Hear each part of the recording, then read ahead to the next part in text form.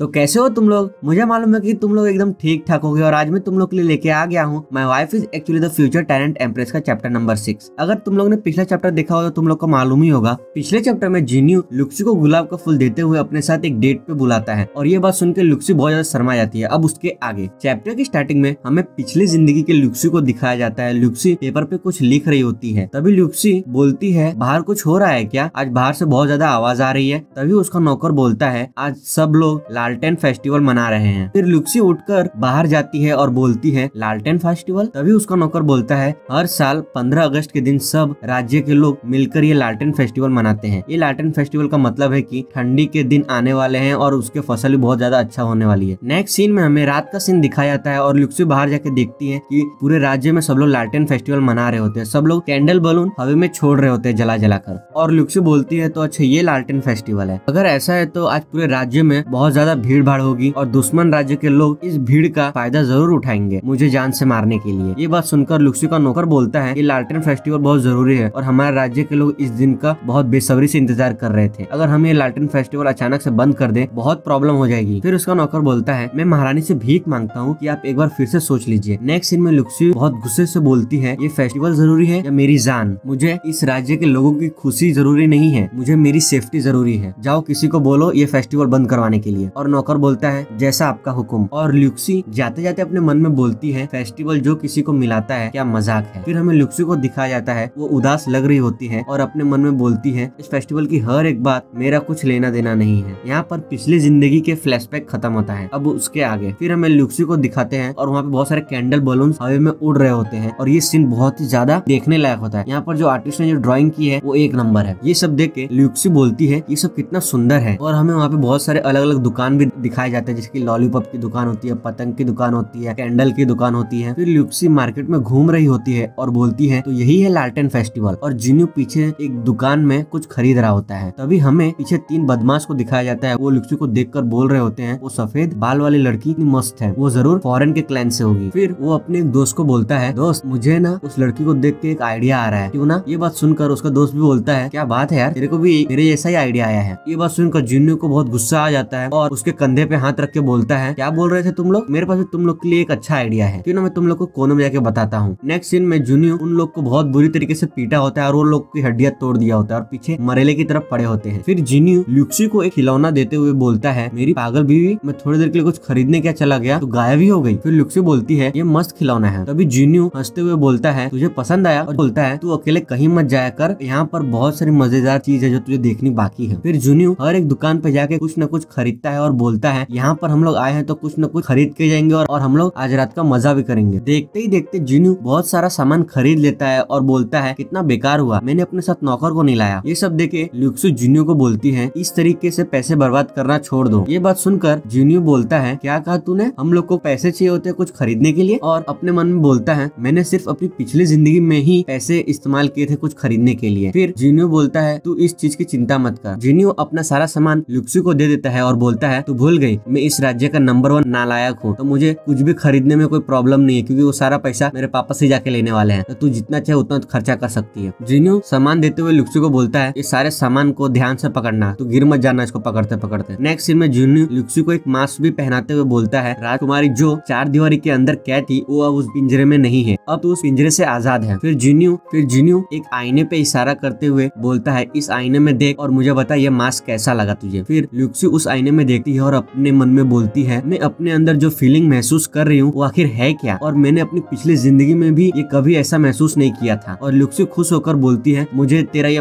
Gift पसंद आया। Next scene में एक टांगे वाला फुल स्पीड से आ रहा होता है और चिल्लाते हुए बोल रहा होता है, सब लोग साइड हो जाओ, मेरे को रास्ता दो और रास्ते के बीच में खड़े मत रहना। उस टांगे वाले में एक लड़की होती है, जो ये सब चीज़ देख के बहुत ज़्यादा हंस रही होती है। तभी जीनू लुक्सी को साइड करते हुए बोलता है, ध्यान से। तभी लुक्सी के हाथ में जितना भी सामान होता है, सब गिर जाता है। इस चीज़ की वजह से लुक्सी बहुत ज़्यादा उदास हो जाती है और गुस्सा भी हो जाती है। और ऐसा लगता है कि वो अभी उस लड़की को जान से मार देगी। लुक्सी अपने मन में बोल रही होती है, क्या वो टांग वाले की गाड़ी खराब हो गई है या फिर कोई मरने वाला है या उसके परिवार में सब खत्म होने वाले हैं? उसको इतनी जल्दी क्या थी? ये सब बुरा भला लुक्सी उसको बोल रही होती है। फिर जूनियो उस लड़की को देख बोलता है, वो बहुत अच्छी है। ये सुनकर लुक्सु चौक जाती है। फिर जूनियो वहाँ से चला जाता है और बोलता है लुक्सु तू मेरा इधर ही इंतज़ार करना, मैं अभी आता हूँ। लुक्सी परेशान होकर अपने मन में बोलती है, क्या वो मुझे छोड़ के चला गया दूसरी लड़की को देखने के लिए। ये सब देख के ल्यूक्सी और भी ज़्यादा मायूस हो जाती है और उसकी हालत एकदम रोने जैसी हो जाती है। ऐसा लग रहा होता है की वो बस कभी भी रो ही देगी। ल्यूक्सी के चारों तरफ़ बहुत सारे लोग होते हैं जो इस फेस्टिवल को एंजॉय कर रहे होते हैं, लेकिन ल्यूक्सी के साथ कोई भी नहीं होता जो इस फेस्टिवल को मना सके। तभी ल्यूक्सी के पीछे से जीन्यू बोलता है, मैं बस थोड़ी देर के लिए गया था और तू इतनी जल्दी उदास हो गई। फिर लुक्सी पीछे मुड़कर देखती है, तभी जीन्यू ल्यूक्सी को एक कोट पहना देता है और बोलता है, जैसा सोचा था, ये कोट तुझ पे बहुत ज़्यादा अच्छा लग रहा है। और जीन्यू बोलता है, इस कोट से तुझे अपने सफ़ेद बाल की चिंता करने की ज़रूरत नहीं है। कोई भी नहीं पहचानेगा कि तू फॉरेन क्लैन से है। जूनियो बोलता है, लेकिन मुझे तेरे बाल बहुत ज़्यादा पसंद है। जूनियो लुक्सी को बोलता है, अब हम लोग चले यहाँ से। हमें और भी जगह पे घूमने जाना है। लुक्सी बहुत ज़्यादा खुश हो जाती है और बोलती है, ठीक है। लुक्सी उस कोट का देखकर अपने मन में बोलती है, ये कोट तो उस लड़की के पास था जो उस टांगे वाले में घूम रही थी। इसका मतलब जूनियो मुझे छोड़कर नहीं गया था। वो उस लड़की से ये कोट लेने गया था और मेरा बदला भी, क्योंकि उसकी वजह से मेरे सारे सामान गिर गए थे। लुक्सी जिन्नू को गले लगा लेती है और जिन्नू बोलता है, क्या हुआ तुझे, मेरी बात तुझे इतनी पसंद आ गई, तू कुछ बोल ही नहीं पा रही है। फिर लुक्सी जिन्नू को एक ज़ोर से चीटी काटे हुए बोलती है, ये कोट तो उस लड़की ने पहना हुआ था। फिर जिन्नू बोलता है, मैंने तो बस ये सब तेरे लिए किया था, मुझे कोट चाहिए था तो मैं कोट लेके आ गया। नेक्स्ट सीन में लुक्सू जिन्नू को गाल पे किस कर देती है और जिन्नू ये सब देख के चौक जाता है और हमें लुक्सू को दिखाया जाता है, वो बहुत ज़्यादा खुश लग रही होती है। नेक्स्ट सीन में जिन्नू एक दुकान से सारा सामान उठा के लेके आ गया होता है और लुक्सू को दे रहा होता है और दुकान वाला पीछे रोते रोते बोल रहा होता है, अरे भाई मेरे को पैसे तो देके जा, सारे सामान ले लिया, लेकिन साला एक पैसा तक नहीं दिया। नेक्स्ट सीन में जिन्नू एक जगह पे खड़े होकर बहुत ध्यान से कुछ सोच रहा होता है। ये सब देख के लुक्सी पीछे हंस रही होती है। फिर हमें लुक्सी को दिखाया जाता है, वो अपने मन में बोल रही होती है, काश ये टाइम और भी धीरे हो जाए। क्योंकि मुझे किसी भी चीज़ से कोई मतलब नहीं, मुझे बस अभी इस समय को पूरी अच्छी तरीके से एंजॉय करना है। और मैं चाहती हूँ कि ये टाइम इधर ही थम जाए। इसी के साथ ये चैप्टर यहाँ पे खत्म होता है। अगर तुम लोग इस चैनल पे नए हो तो चैनल को सब्सक्राइब करना बिल्कुल मत भूलना और साथ ही बेल आइकन दबा देना। जब भी मैं अगला एपिसोड अपलोड करूँगा तो तुम लोग को सीधा नोटिफिकेशन मिल जाएगा। अब हम लोग अगली बार मिलेंगे। My wife is actually the future talent empress के चैप्टर नंबर सेवन में। तब तक के लिए टाटा और बाय बाय